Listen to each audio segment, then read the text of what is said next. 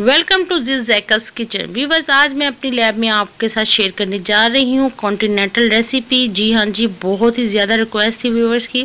मैं अपनी लैब में बनाने जा रही हूँ चिकन स्टेक्स इसको ग्रिल स्टेक्स भी कह सकते हैं, क्योंकि इसके ऊपर मार्क आएँगे, जो इसकी खूबसूरती में चार चाँद लगा देंगे। ये ब्रेस्ट पीसेस लिए मैंने चिकन के, ये थे मेरे पास तीन अदद वन के से ज़्यादा था ये। और इन ब्रेस्ट पीसीस के मैंने दो दो पार्ट्स में इनको डिवाइड किया फिर उन पार्ट्स में से मैंने उनमें से भी दो दो स्लाइस कर दी हैं, जैसे आपने मुझे देखा है। मेरे स्टेप्स को फॉलो करते जाइएगा और इन स्टेप को फॉलो करते हुए ही आप स्टेक्स बहुत ही मज़े कर यमी बनाएँगे। अगर तो आपके पास किचन हैमर है तो उसके साथ इसको फ्लैट कर दें, नहीं तो बेलने की मदद से भी कर सकते हैं। कोई ऐसा हार्ड एंड फास्ट रूल नहीं है कि अगर आपके पास किचन की हथौड़ी नहीं है तो आप नहीं कर सकते। फ्लैट करने से इस, इसका क्या फ़ायदा होगा कि ये कुक बहुत जल्दी हो जाएँगे और जो हम इसके ऊपर जो सारे स्पाइसेस लगाएँगे मैरिनेशन के लिए वो इनके अंदर बहुत अच्छी तरीके से पेनिट्रेट हो जाएँगे। आप ये देख रहे हैं कि मैं इसको फ्लैट कर रही हूँ, तकरीबन ये ऑलमोस्ट सब हो चुके हुए हैं। और यहाँ पे मैंने ले लिया बॉल बॉल में मैंने ऐड कर देना है जनाब। यहाँ पे मैं डालूँगी इसके अंदर, ये कुकिंग ऑयल लिया था मैंने सात से आठ टेबल स्पून के करीब यानी कि क्वार्टर कप भी ले सकते हैं हम लोग, और white vinegar three teaspoon lemon juice three tea tablespoon white pepper one teaspoon black pepper इसके अंदर जाएगा वन टीस्पून सोया सॉस भी इसके अंदर ऐड करेंगे सिक्स टेबल स्पून के बराबर. स्टेप बाई स्टेप मैं आपको बताती जाऊँगी कि आपने क्या क्या चीज़ें ऐड करनी है, उसी स्टेप से आप लोगों ने चीज़ों को ऐड करना है. ये मैंने यहाँ पे जो कुकिंग ऑयल के अंदर मैंने ऐड किया था वाइट विनीगर वगैरह भी। और ये लेमन जो इसको खूब अच्छी तरीके से विक्स की मदद से इसको बहुत अच्छी तरीके से मैं फेंट रही हूँ ताकि इसका कलर चेंज हो गया, इसके अंदर मैंने वाइट पेपर ऐड किया है। सोया सॉस इसके अंदर ऐड कर रही हूँ। और वचिस्टर सॉस अगर मिल जाए तो आप वचिस्टर सॉस भी डाल देंगे इसके थ्री टेबल स्पून और मस्टर्ड पेस्ट जाएगा इसके अंदर वन टेबल स्पून क्योंकि ये मैं ज़्यादा बना रही हूँ, इसलिए इनकी क्वांटिटी भी ज़्यादा है सब स्पाइसेस की। मस्टर्ड पेस्ट भी इसके अंदर मैंने वन टेबल स्पून के करीब ऐड किया। इससे बड़ा अच्छा ज़बरदस्त किस्म का इसका फ्लेवर निकल के आएगा। और इस जो ग्रिल स्टेक्स को हम लोग सर्व करेंगे वेजिटेबल्स के साथ और सोते वेजिटेबल्स के साथ सर्व करेंगे और इसकी सॉस में आपके साथ वाइट वाली सॉस नहीं, ब्राउन सॉस के साथ इसको शेयर, आपके वेजिटेबल के साथ इसको सर्व करेंगे। ब्लैक पेपर भी मैंने वन टीस्पून ऐड कर दिया और इसके अंदर तकरीबन सिक्स टेबल स्पून के बराबर सोया सॉस जा चुका है। अब इन सब चीज़ों को मैं बहुत अच्छे तरीके से मिक्स कर रही हूँ। स्पाइस अपनी मर्ज़ी के मुताबिक कम या ज़्यादा कर सकते हैं। इसके अंदर मैंने चॉप गार्लिक ऐड किया फ्रेशली इसका बहुत ही ज़बरदस्त जमी सा रूम आएगा। अब मैं एक एक करके सारी जो ब्रेस्ट को मैंने फ्लैट किया था, इसके अंदर ऐड कर दूँगी। इसको मैं मैरिनेट करने के लिए रख दूँगी। तकरीबन एक से दो घंटे के लिए। ज़्यादा से ज़्यादा आप टाइम देंगे तो ज़्यादा बेहतर है, ना अगर बहुत ज़्यादा जल्दी है तो थर्टी मिनट्स के लिए तो मस्ट आपने इसको मैरिनेशन के लिए रखना है। और ये देख रहे हैं वन के के करीब था, बल्कि से थोड़ा सा ज़्यादा है। और इसको खूब अच्छी तरीके से मैंने मिक्स कर दिया है। अब इसको मैं रख दूँगी तकरीबन एक घंटे के लिए। और एक घंटे के बाद मैं नेक्स्ट स्टेप बताती हूँ आपको। एक घंटे के बाद मैंने ये ग्रिल पैन लिया है, ये ये ग्रिल पैन स्टेक्स पैन कहते हैं, उसको मैंने गर्म करने के लिए रख दिया था। अब इसमें से एक एक पीस को उठा के मैं इसको मैंने ग्रीस किया था पैन को। और ये मैं रख रही हूँ, आप देख रहे हैं इसका स्मोक जो निकल रहा है, इसका इंडिकेशन है कि आपका ग्रिल पैन बहुत ज़बरदस्त अच्छे तरीके से गर्म हो चुका हुआ है हॉट है।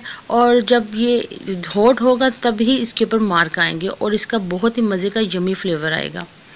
आप रेस्टोरेंट में बाहर कहीं जाते हैं खाने के लिए तो आपको पता है काफ़ी एक्सपेंसिव होता है ये और काफ़ी कॉस्टली होते हैं। तो अच्छा नहीं है कि आप लोग घर में साफ़ सुथरे तरीके से बनाएँ और जितने आपने एक खाने हैं, उतने पैसों में आप पूरी फैमिली को खिला सकते हैं घर में खुद बना के। ये मैं इसमें फ्लम्बे कर रही हूँ। इससे बहुत ही ज़बरदस्त इसका रूमा निकल के आएगा और इसके मार्क देख रहे हैं कि मार्क कितने ज़बरदस्त आ चुके हैं। लाइनें इसकी खूबसूरती स्टेक की खूबसूरती में इजाफा करती हैं। अगर जिनके पास ये नहीं है तो कोई ऐसा हार्ड एंड फास्ट रूल नहीं है कि आपने इसी में बनाना है, आप इसको नॉन स्टिक पैन में बना सकते हैं, तवे पे बना सकते हैं। बना लीजिएगा और बना के ज़रूर ट्राई कीजिएगा। और दूसरी तरफ़ मैं क्या कर रही हूँ, जो मैंने ब्लांच की हुई थी वेजिटेबल वहाँ पैन में मैंने लिया टू टेबल स्पून के करीब बटर और वन टेबल स्पून के करीब ऑयल लेके white pepper black black pepper इसमें डालिए।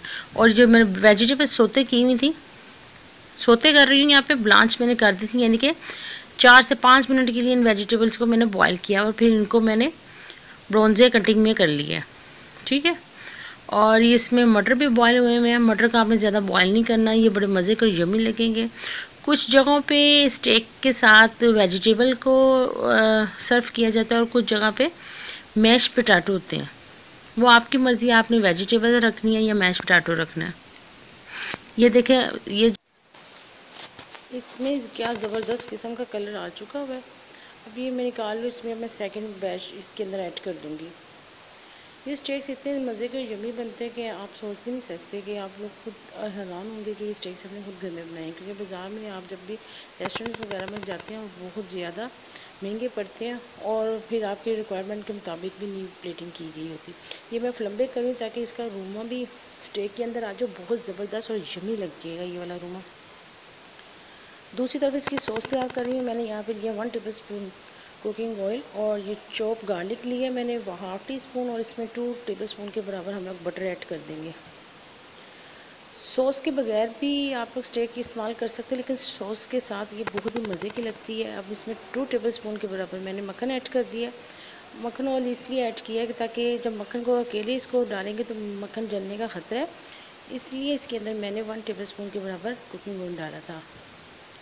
चिकन ब्रेस्ट मैंने यहाँ पे यूज़ किए थे वन के जी और इसमें मैंने टू टेबल स्पून के बराबर विनीगर ऐड किया और सोया सॉस जाएगा इसके अंदर तकरीबन फोर से five tablespoon chilli sauce इसके अंदर मैंने ऐड कर दिया है तकरीबन फोर टेबल स्पून के बराबर और इसको मैं खूब अच्छी तरीके से मिक्स कर रही हूँ।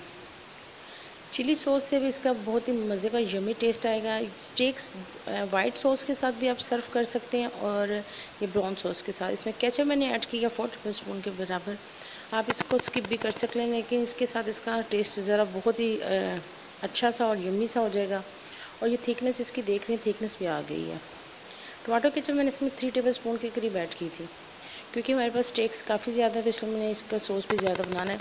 इसके अंदर हम लोग स्टॉक ऐड कर रहे हैं। चिकन स्टॉक इसके अंदर चला जाएगा टू कप के करीब। अगर ज़्यादा चाहिए हो तो इसके अंदर आप स्टॉक ज़्यादा कर दीजिएगा, और फिर आपकी रिक्वायरमेंट के मुताबिक आपको जितना चाहिए होगा स्टॉक्स वो मिल जाएगा। अगर वो नहीं आप स्किप कर सकते हैं तो इसमें आप कोई सेट करके भी वो भी डाल सकते हैं। तो ये देख रही हैं, बहुत ही मज़े से और यम्मी सा ये तैयार सॉस हो रहा है। अब इसको हम लोग कुक कर रहे हैं अच्छे तरीके से। और ये थिकनेस आ गई है, लेकिन जितनी हमें थिकनेस चाहिए उतनी कम है। तो अब इसके अंदर हम लोग ऐड कर देंगे कॉर्नफ्लोर कॉर्नफ्लोर डालने से क्या होगा, इसकी थिकनेस सेट हो जाएगी और इसके अंदर मैंने ऐड किया वन टीस्पून के बराबर ब्लैक पेपर और साथ ही इसके अंदर अगर आप चाहते हैं चिली फ्लेक्स डालना ऑप्शनल है चिली फ्लेक्स डालना चाहते हैं इसमें हाफ़ चिली फ्लेक्स भी डाल सकते हैं आप लोग। लेकिन वाइट पेपर और ब्लैक पेपर मैंने वन टी स्पून डाले और हाफ़ टी स्पून इसमें मैंने डाला है चिली फ्लेक्स, ताकि इसका जो मज़ा पाकिस्तानी थोड़ा सा पाकिस्तानी टच दिया लेकिन जो कॉन्टीनेंटल होता है, उसमें ब्लैक पेपर और वाइट पेपर का इस्तेमाल किया जाता है। ये एक कॉन्टीनेंटल डिश है, और ये बहुत ज़्यादा शौक से खाई जाती है। ये five star six star seven star hotels में। और ये, इसको बनाना भी एक टेक्निक है। हर कोई इजीली तरीके से इसको हैंडल नहीं कर सकता। मुझे थोड़ी सी इसमें कैचअप कम लग रही थी इसमें थोड़ी सी मैंने कैचअप ऐड की है। और इसको मिक्स कर रही हूँ। और आप देख रहे हैं सॉस का कलर ब्राउनिश है। और जो वाइट वाली सॉस होगी, वो बिल्कुल वाइट होती है। अब मैं थोड़ा सा इसका टेस्ट चेक कर लूँगी। इसके जो हम लोगों ने इंग्रेडिएंट ऐड किए थे, और जितने भी इसमें स्पाइसेस ऐड किए थे, बिल्कुल एक्यूरेट है। अब इसमें हम लोग ऐड कर देंगे कॉर्नफ्लोर मैं डिज़ोल्व कर रही हूँ। कॉर्नफ्लोर इसके अंदर थ्री टेबल स्पून के बराबर चला जाएगा। तो ये देख रहे हैं। अब मैंने इसकी जो फ्लेम है, बहुत ज़्यादा हाई नहीं है मीडियम टू लो है। तो अब मैं इसको मिक्स कर रही हूँ। अब इसके अंदर हम लोग क्या करेंगे? इसके अंदर जो मैंने सॉस डाली थी कैचअप इसको मिक्स कर रही हूँ और अब इसके अंदर वक्त आ गया इसके अंदर हम लोग कॉर्नफ्लोर ऐड कर रहे हैं। जितनी हम लोग को थिकनेस चाहिए, उतनी थिकनेस रखेंगे हम। और थोड़ा थोड़ा करके इसके अंदर कॉर्नफ्लोर ऐड करेंगे। बहुत ज़्यादा एक साथ नहीं डाल देंगे, नहीं तो लम्स बन जाएँगे। फिर लम्स को रिमूव करना बहुत ही ज़्यादा मुश्किल हो जाएगा, फिर आप वो रिमूव नहीं कर पाएँगे।